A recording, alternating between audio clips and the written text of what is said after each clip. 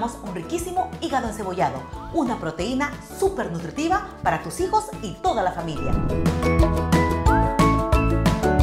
Un truquito para que el hígado te quede mucho más sabroso es remojarlo unos 30 minutos en leche fresca. Luego lo enjuagas y ya puedes condimentarlo. A mí me gusta ponerle sal, pimienta, comino, orégano y un poquito de ajos. Mezclamos bien y lo dejamos reposar para luego freírlo en aceite caliente.